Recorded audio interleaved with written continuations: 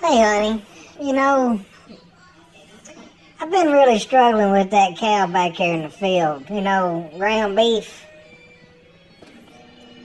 That's really kind of bothersome to me, but, Well, what's wrong? well, you know, I just have to think he's pretty immobile. Now, it's been cold outside, so I guess that hay, that probably helps him out okay. Feel sorry for it. Well, you remember, I told you there were three. Of course, he was concerned that there may have been 20.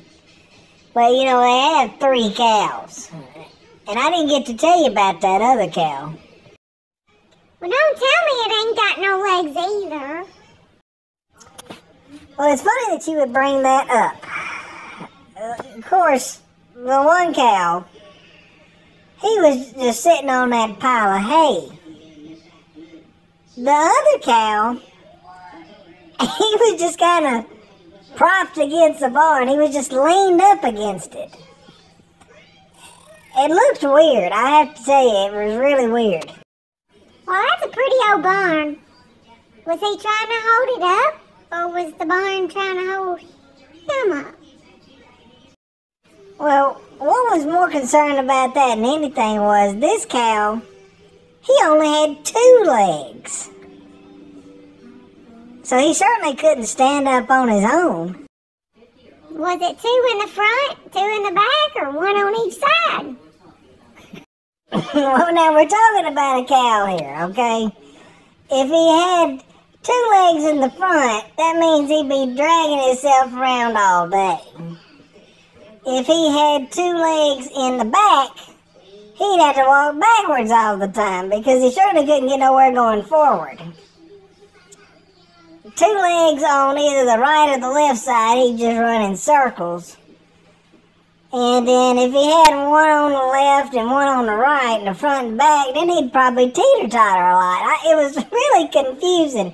But this particular cow, he had two legs on the left side, so a front and back left leg, and he was leaned against the barn on his right side.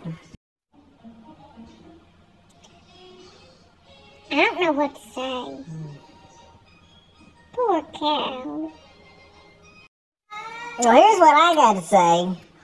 If the cow on the ground had no legs and he was ground beef, then the cow with the two legs, he's lean beef. Well, what about cow number three? Was it healthy? Did it have all legs? Oh, jeez. Okay, YouTubers, if you like this video, make sure you share, hit the thumbs up, comment, and subscribe with the bell notification for a notification each time we put one of these fun videos out. Until next time, dream big and live for the moment.